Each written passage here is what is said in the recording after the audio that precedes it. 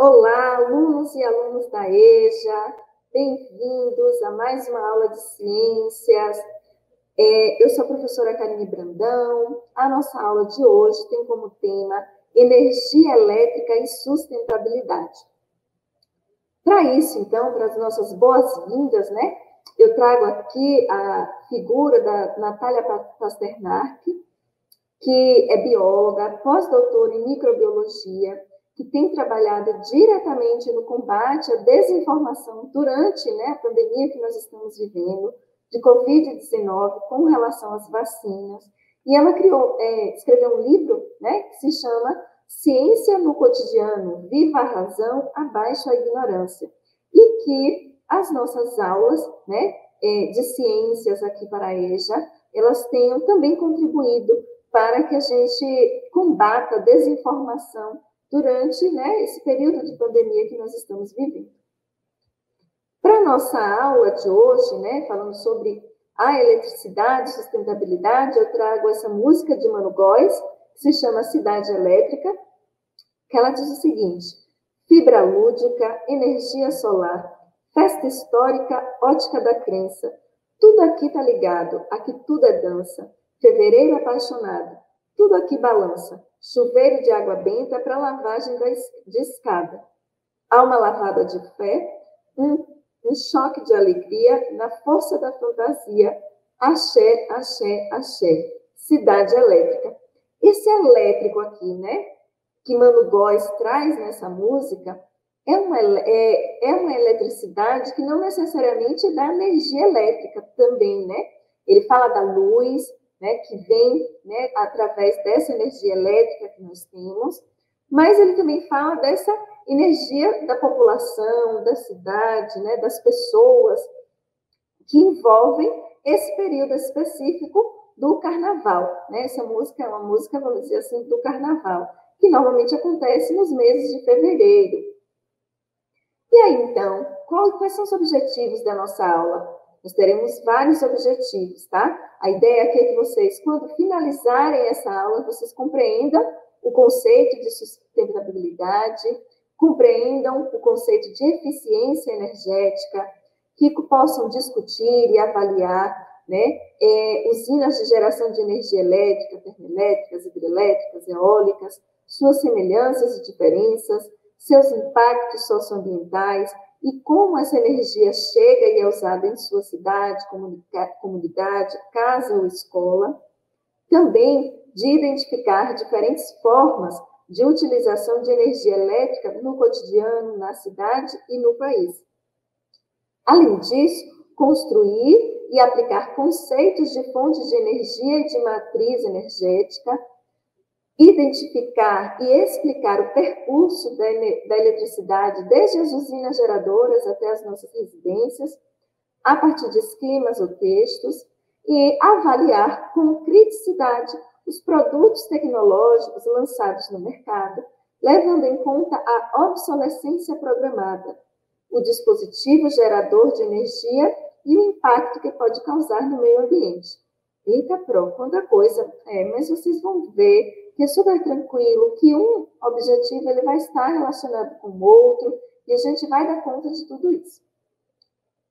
E então, para a gente começar, né, eu trago aqui o termo né, sustentabilidade. Pro, a gente ouve falar tanto de sustentabilidade, mas o que é, afinal de contas, sustentabilidade? É essa capacidade de suprir, ou seja, de fazer é, alcançar as necessidades do presente, né, do agora, sem comprometer as necessidades das próximas gerações. Então, a sustentabilidade, a gente pode pensar que é a capacidade de sustentação de um sistema. Que sistema? O nosso sistema aqui social, né? É, pensando em humanos, nós humanos. Se a gente for pensar na, nos sinônimos, né, da palavra sustentabilidade, que vem do latim sustentare, a gente tem sinônimos como suportar, conservar, suster, resistir, manter. E todos esses sinônimos, né, eles têm uma relação com a sustentabilidade.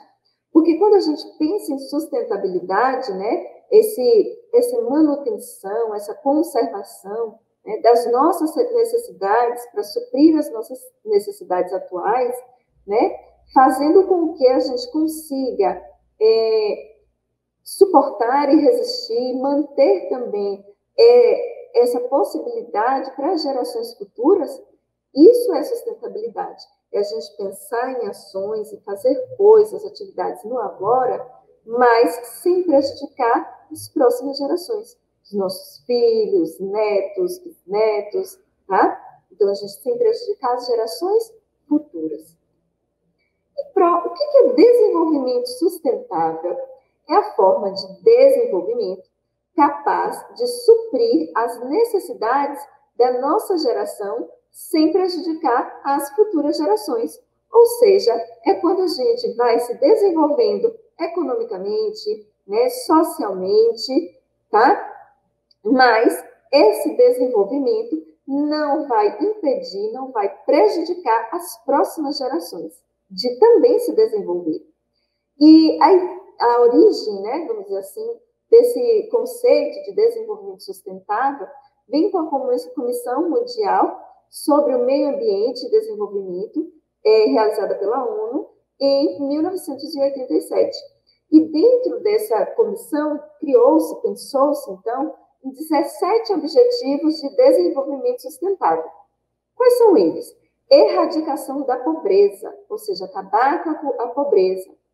Segundo, fome zero e agricultura sustentável, ou seja, que com que todo, fazer com que todos tenham acesso ao alimento, saúde e bem-estar, educação de qualidade, igualdade de gênero, água potável e saneamento. Nós já tivemos uma aula sobre saneamento básico e a gente já viu um pouco sobre esses desenvolvimentos sustentáveis, né? Mas a gente viu especificamente sobre o saneamento básico. Energia limpa e acessível. Olha, tem a ver com a aula de hoje, hein? Quando a gente pensa, então, nesse desenvolvimento, né, nessas necessidades que precisam ser supridas hoje, a gente tem que pensar também qual é a fonte dessa energia que a gente está utilizando. Ela é uma energia limpa? Ela é acessível para todo mundo? É, trabalho decente e crescimento econômico, ou seja, a gente tem que pensar no trabalho, mas um trabalho decente. O que é um trabalho decente? Com respeito ao ser humano, né? A saúde do indivíduo, a saúde do trabalhador, com condições, tá? Quando a gente pensa também dentro desses objetivos, é indústria, inovação e infraestrutura, desenvolvimento desse, desses setores, né? Redução das desigualdades, cidades e comunidades sustentáveis, consumo e produção responsáveis. Nós tivemos uma aula já sobre a água e o consumo consciente, né? A gente tem responsabilidade sobre o que a gente consome, tá? É, ação contra a mudança global do clima, né? Então, quando a gente pensa nos problemas ambientais, como é que a gente pode mitigar esses problemas ambientais? Como é que a gente pode fazer, é, ter alternativas, né? Para a gente não é, impactar o ambiente, né? Vida na água, o que é isso, Pro? e vida terrestre. O que é isso? O cuidado com os ecossistemas, tanto aquáticos quanto terrestres. Paz justiça instituições eficazes, né? Direitos humanos, né? uma justiça é, eficaz, coerente, né? Com valores. Tudo isso faz parte aqui também desses objetivos do desenvolvimento sustentável. E o último, parcerias e meios de implementação, ou seja, nós hoje vivemos num mundo globalizado, então nós nos relacionamos, né, com o mundo todo, não só comigo, não só com uma pessoa. Vocês estão aqui hoje ouvindo essa aula, né, e, e assistindo essa aula e não, é, não está sendo presencial, né? Por quê? Porque nesse movimento, né, nesse é, contexto que nós vivemos, nós precisamos de parceria e meios para a implementação desse desenvolvimento. Pro, e quando a gente pensa em sustentabilidade, tipos de sustentabilidade, sim. Existem, vamos dizer assim, quatro classificações, né? quatro tipos de sustentabilidade. Uma sustentabilidade pensada para o ambiental e ecológica, que é o uso consciente dos recursos naturais para que possamos utilizar desses recursos mais para frente. Tem uma sustentabilidade empresarial, que é quando uma empresa ela tem uma postura de responsabilidade com os valores ambientais e sociais.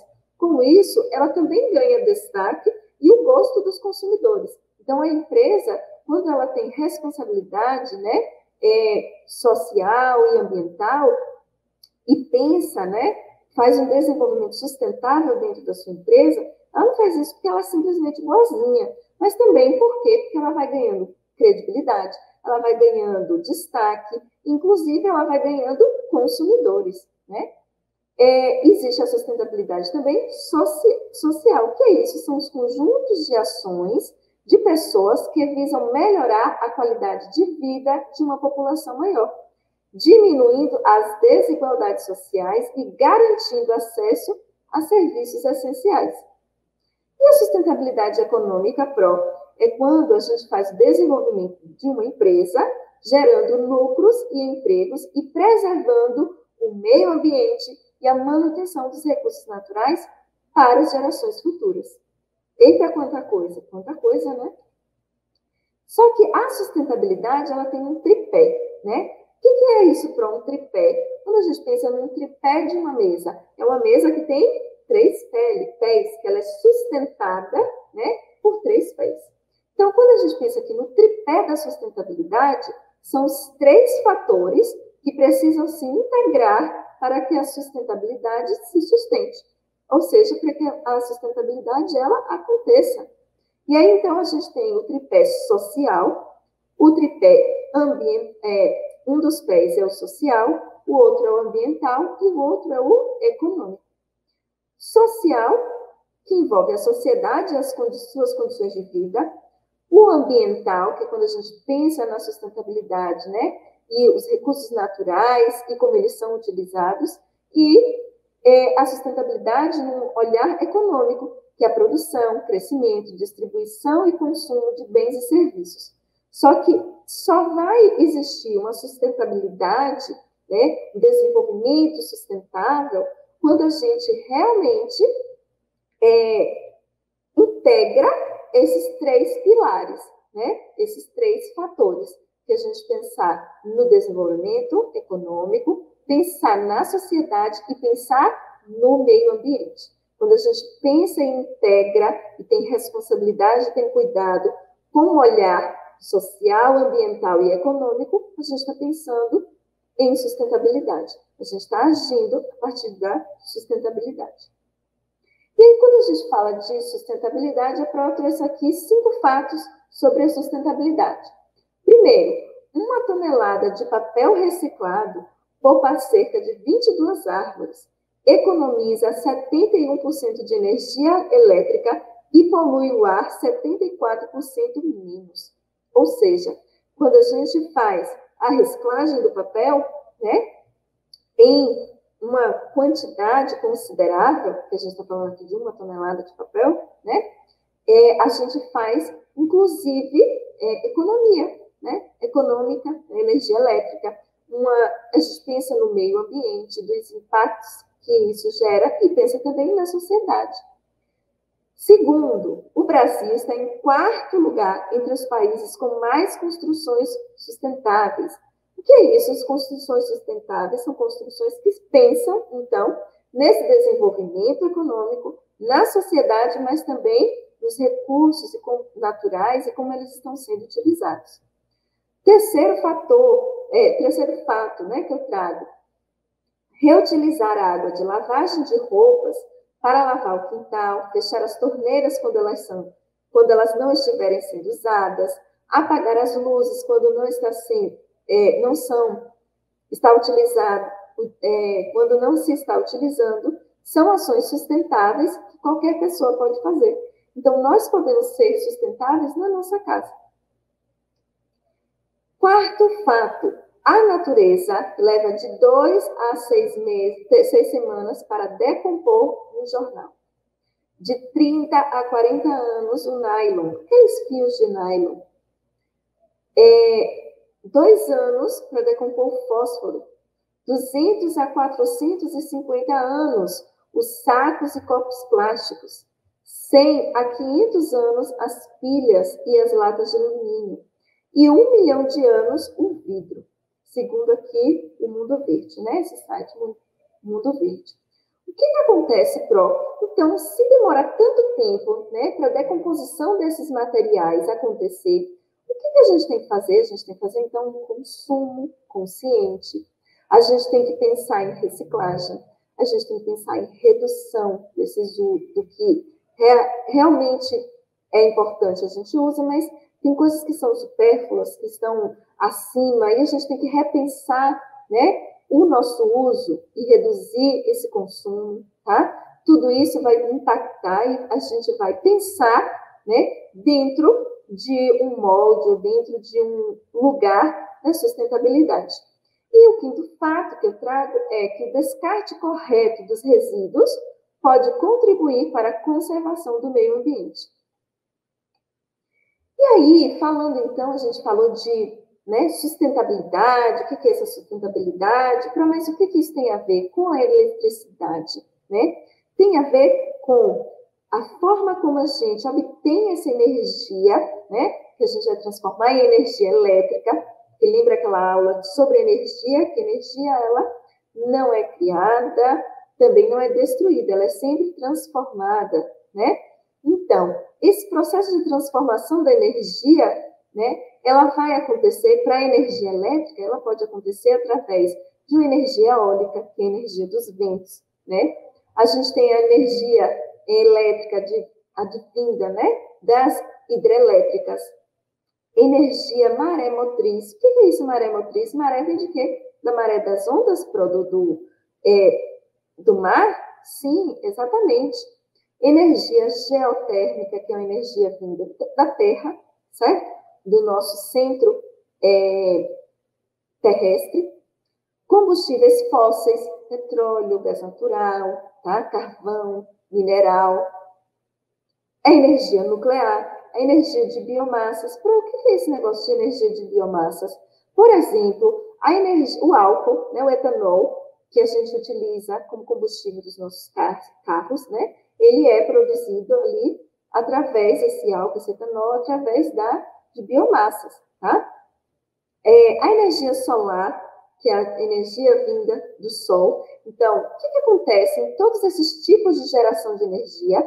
A energia ela é, então, capturada e transformada em energia elétrica.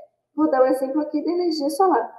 A luminosidade, né, os raios solares vão incidir sobre essas placas e essas placas, então, elas vão ficar carregadas energeticamente e então vai ter um, uma bateria e essa, é, essa energia vai ser transformada né, dentro desse aparelho aqui para energia, da energia solar para energia elétrica. E aí, a pessoa, qualquer um de nós pode consumir essa energia elétrica, ligando uma luz, uma televisão, um computador, né, botando o celular para carregar, enfim.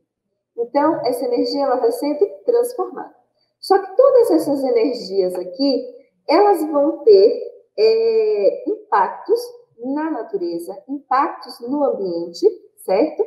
E elas vão ter vantagens e desvantagens, tá?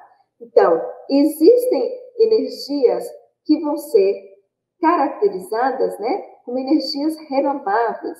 Então, por exemplo, a energia eólica, solar, a biomassa, a maremotriz, geotérmica, a elétrica, são energias renováveis e também são consideradas, né, até certo ponto, como energias limpas.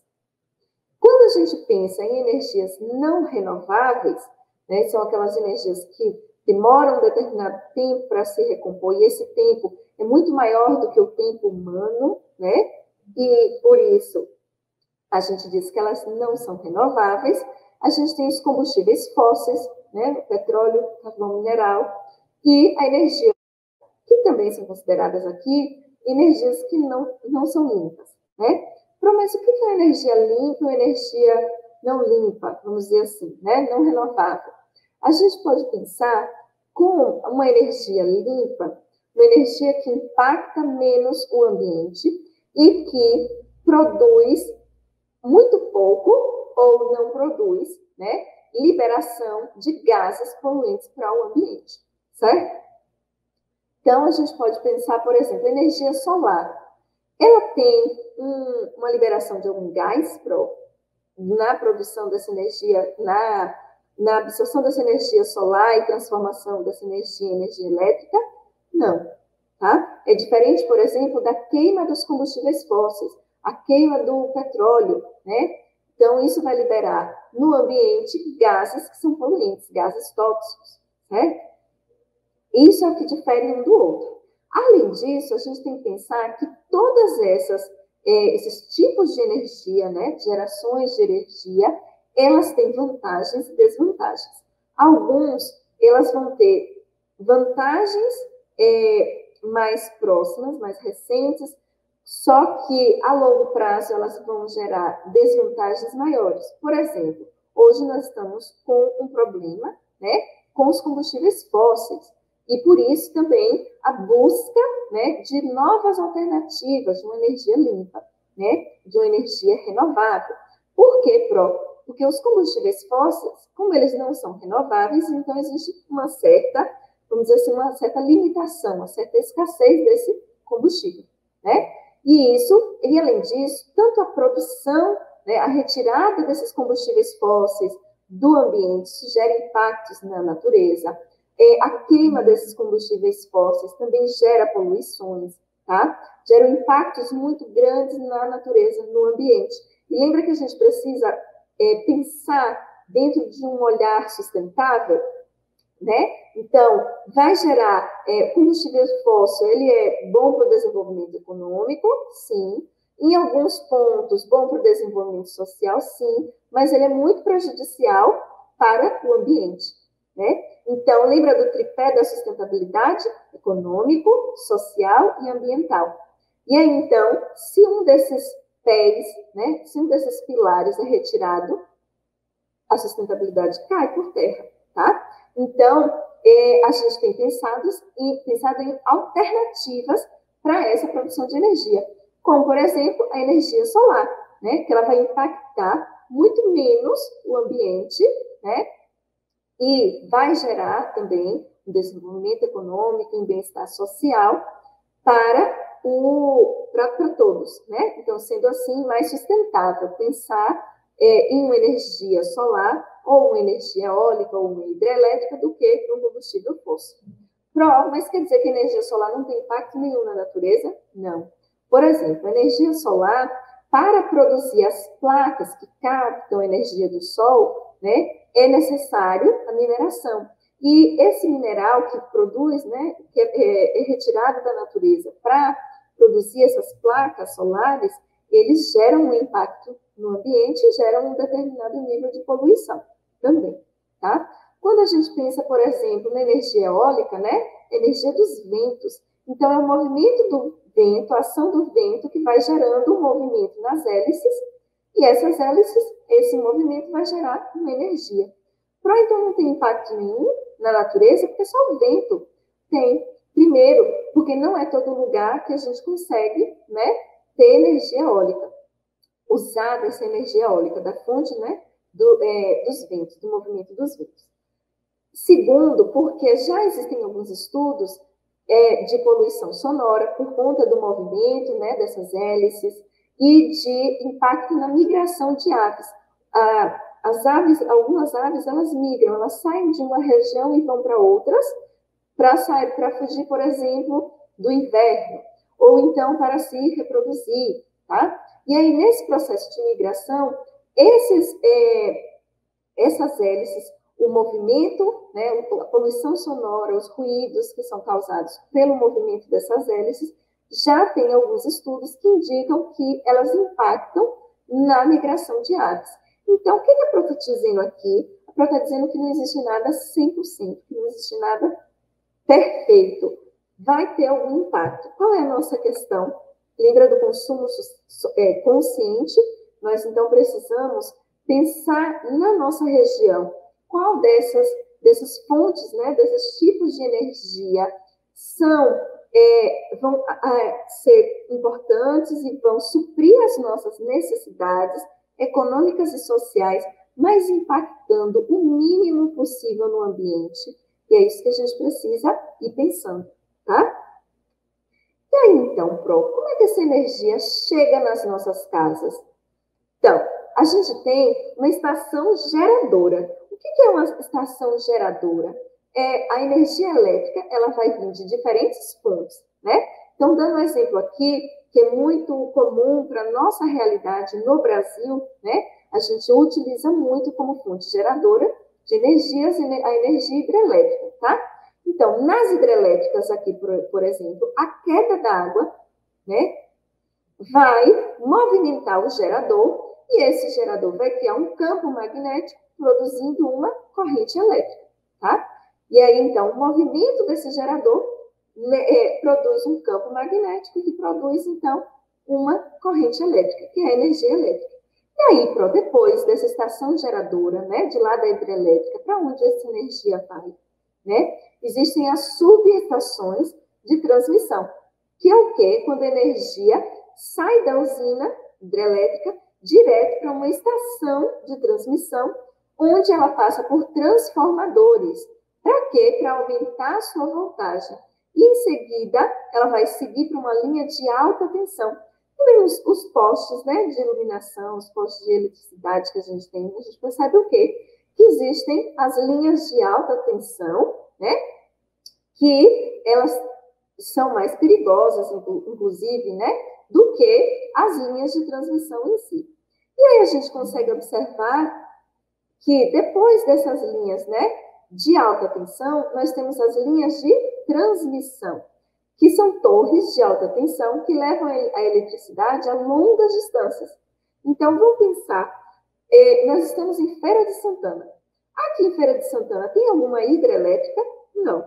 Nós temos a hidrelétrica mais próxima de nós, que é a de Pedra do Carvalho né? O que, que acontece? A energia, então, ela é gerada lá na hidrelétrica e aí ela é transmitida para uma estação de transmissão. E aí, então, essa energia, ela vai seguir por linhas de alta tensão.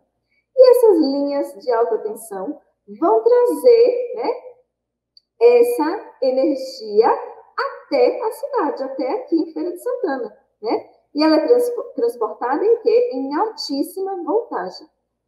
Pro. E por que quando eu ligo o meu celular no, no carregador, não queima tudo? Porque já que é altíssima voltagem. Porque antes de chegar né, na nossa casa, existe primeiro umas, as subestações de distribuição. Que aqui em Feira de Santana, por exemplo, nós temos essas subestações de distribuição que é onde a eletricidade ela vai passar por transformadores de tensão e que vai diminuir a voltagem dessa energia, né? E aí só então é que ela vai seguir para a rede de distribuição.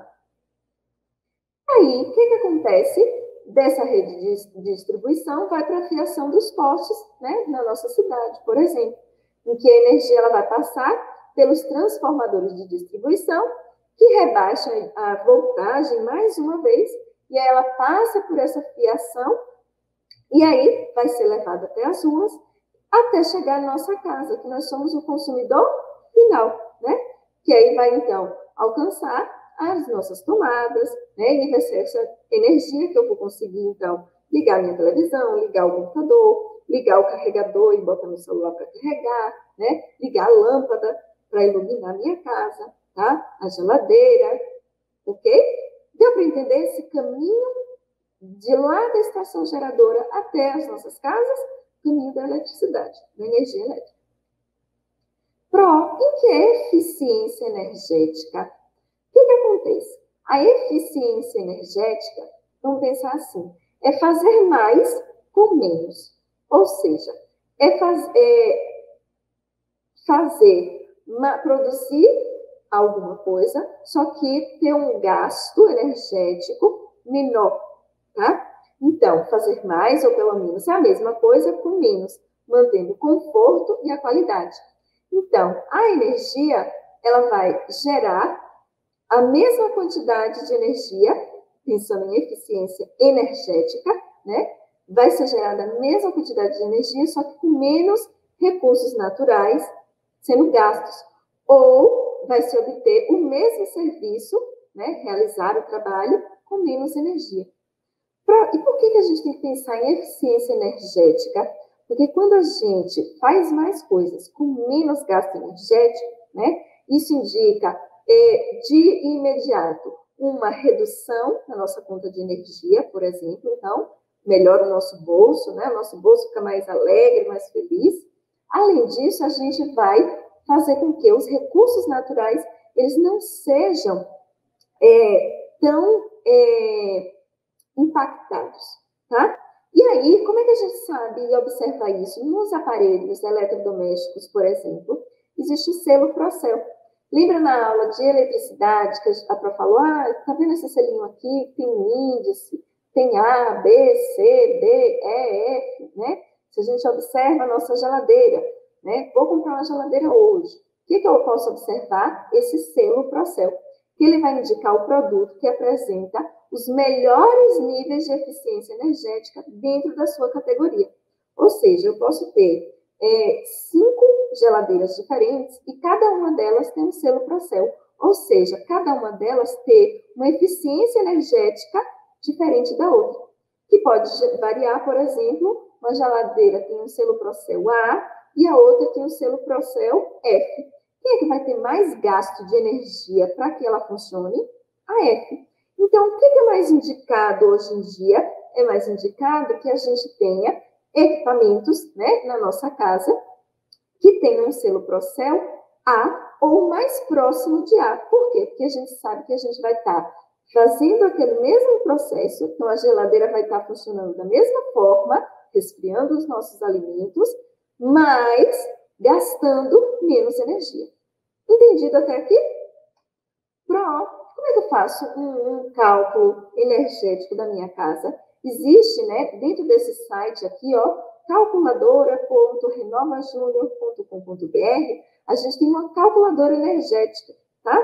Que aí você consegue somar e calcular toda a energia, né, é, dos aparelhos é, eletroeletrônicos e eletrodomésticos da sua casa, tá? E aí você vai ter vai indicar o modelo, a potência, a quantidade, né? É, desse equipamento, se eu tenho uma geladeira, uma geladeira, duas, três, então a quantidade dessas geladeiras, o tempo gasto, ela fica o dia todo, então é 24 horas por dia, ou é só, são três dias na semana que fica ligado, enfim, ou são duas, dois minutos, se for um chuveiro elétrico, cinco minutos, dez minutos no banho, enfim você consegue calcular né, é, todas essas é, esses aparelhos, né, energia elétrica, né, desses aparelhos em sua casa.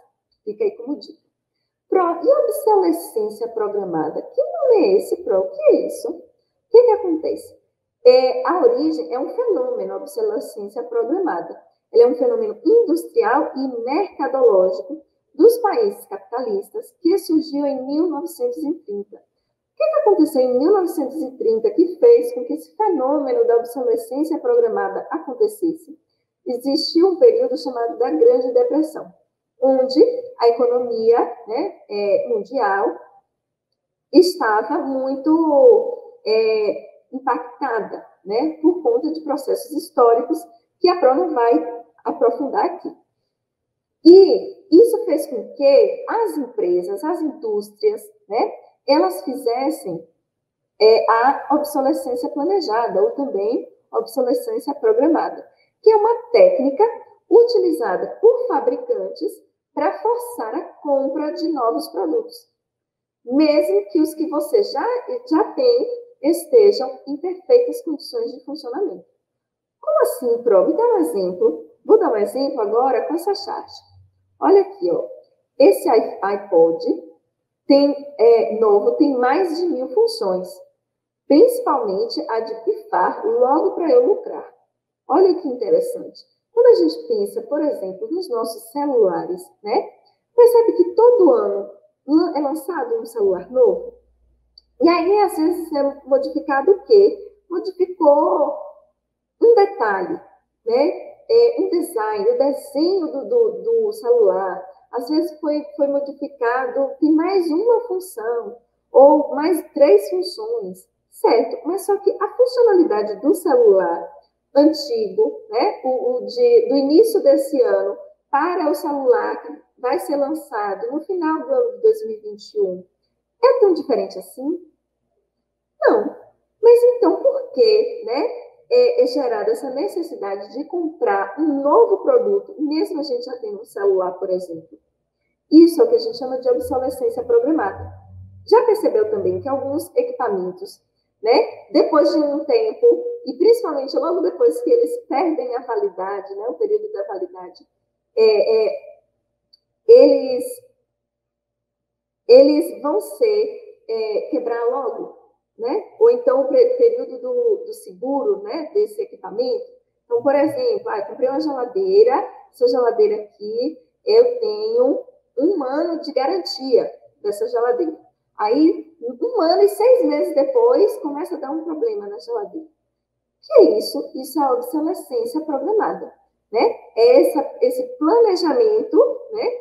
Essa técnica mercadológica e da indústria para forçar a compra de novos produtos. E a gente precisa ficar atento com isso, por quê, Pro? Porque lembra do consumo consciente? Quando eu faço esse consumo de forma inconsciente, né? Eu me torno consumista, né? Dentro, é, dentro de um olhar negativo da palavra, o que que acontece? A gente vai constantemente estar produzindo o quê? Lixo. Olha essa imagem aqui dessa chart. Olha quantos celulares, essa montanha de celular, né? Que todos têm a mesma função, a função básica do telefone, né? É, mas que por conta de uma demanda do mercado, de uma demanda econômica, a gente constantemente quer novos celulares, que é o celular da moda, que é as coisas mais, é, mais recentes, mais atualizadas. Não é um problema querer as coisas mais atualizadas e mais recentes, mas a gente tem que começar a pensar para onde vai esse lixo? Para onde vai esse celular que eu não quero mais? Para onde vai esse equipamento que, não, que já não me serve mais? O que, que tem sido feito? O que, que essas indústrias têm feito para diminuir essa produção de resíduos? Né? E pensar em alternativas para a gente cuidar do meio ambiente também. Porque lembra, tudo tem que ser, a gente precisa de um pensamento sustentável para a manutenção da nossa própria espécie. E ser sustentável, a gente tem que pensar na economia, no social, mas a gente tem que pensar principalmente no meio ambiente. Então, resumindo a nossa aula de hoje, nós vimos sobre a sustentabilidade, que é essa capacidade de suprir com as necessidades do presente sem comprometer as necessidades das próximas gerações, e eficiência energética, né? Que é gerar essa mesma quantidade de energia com menos recursos naturais ou obter o mesmo serviço, né, realizar esse trabalho com menos energia. Agora é a sua vez de estudar um pouco mais, de fazer suas atividades, de tirar suas dúvidas, de buscar outras informações. Eu fico por aqui, agradeço, peço que se cuidem, peçam que bebam água, peço que usem máscara, ainda estamos em momento de pandemia.